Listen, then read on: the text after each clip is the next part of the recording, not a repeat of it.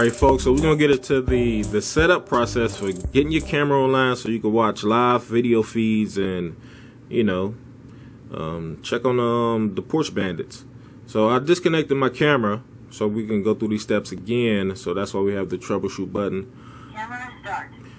But the cool thing about this camera is it, it lets you know what's going on. So just get into it. We have we're gonna re-add my Wi-Fi network, and what I'm gonna do is I'm just gonna go through all steps so you can skip ahead to whichever method you want to use. I will say this: the one at the bottom is going to be um, your best option because that's going to be um, directly connected. You're going to be using the Ethernet cable. But let's just start at the top, selecting that one. So you see right here it says power on. Hold the the reset button, which is right here. Now I have two reset buttons. You have one on the bottom, which you have to unscrew that, and then you have one right one right here, which is easy to access. I'm gonna press and hold that for five seconds. Reset success. Please wait reboot. Once you say that, you can go ahead and just wait. See that floodlight? That floodlight is pretty bright. All right. Just give a couple more seconds.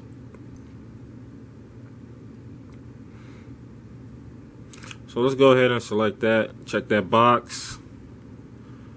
All right. Camera start. Camera started. Select next. Wait for connection. So, as you can see right right here, we have to connect our mobile mobile device to our home Wi-Fi. So I'm gonna go ahead and enter my password. All right, so see here we have a, QC code, QRC code. So we're just gonna put that Wait for connection. right there in front of the camera so I can scan it. Network connecting. Please wait. All right, so when you're using the Wi-Fi method, they tell you you need to be as close to your Wi-Fi router as possible, your cell phone and the camera. Um, so if you're having issues with this method, just get as close as possible. Just get as close as possible. You know, even though it might tell you Wi-Fi network was a success, it still may not be within range to establish a um, a good connection. So, so right here, we we heard the beep. So we heard the beep. So let's go ahead and go to the next step. And right here, it shows you right here, the router, mobile phone, and device should be as close as possible. All right, folks. So the camera is on the line. See right here, we have my my hand. And we're getting alerts already. All right, folks. So we're gonna go to another method of adding your camera. Um, first one we did was. Was the QR code, and the next one we're gonna go to the AP hotspot. So right here, I'm gonna press and hold the reset button, which I already did. So what I'm gonna do here is select that box and select next. Wait for connection. So it's telling us right here the the camera's going to create a, a hotspot for you. So we're going to go to settings and we want to find that hotspot that they created. So there we go right there, Pix Plus AP, and we want to connect to that. Wait for connection. So once we connect it, then we can go back.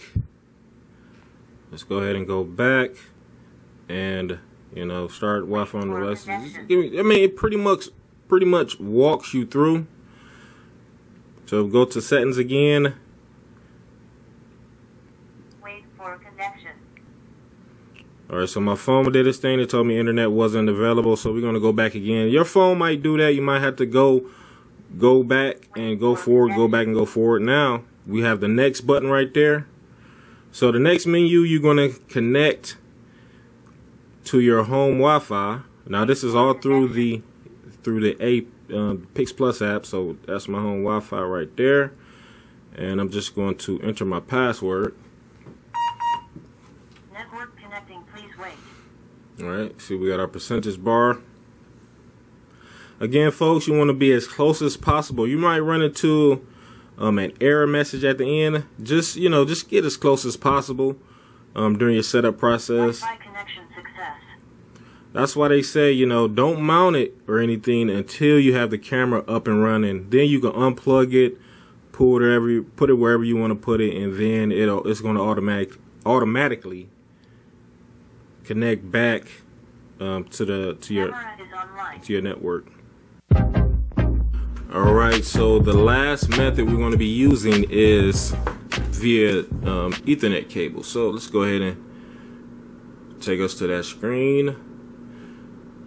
Re-add Wi-Fi, and that's going to be your it's going to be your last option right here. All right. So we already did that. We got the camera reset. So we got our Ethernet port right here. So you just want to go ahead and put that in there. As you see right here, you got a, a green light that lets you know you are connected. So, so if we unplug this, the light is going to turn off. So that's how you know you got a connection. So if you ever in a situation where you got a hardwire, you need to troubleshoot. First thing you want to check is that light. We're going to go ahead and plug that back into our router. So our light is on. And let's get back into the app. All right. So at this point, what you want to do is the camera has a Q, QR code on the back of it right there. So you just want to get into some light. All right. And get that in the field of view. And let's see if we can line that up.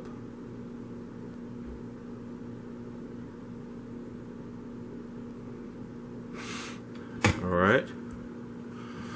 Once you get that lined up, now this is the quickest way to do it. Again, you can you can do it this way, and then uh, you know hop on over to Wi-Fi. They do say that in the manual. You can set it up hardwired, and then uh, reconnect it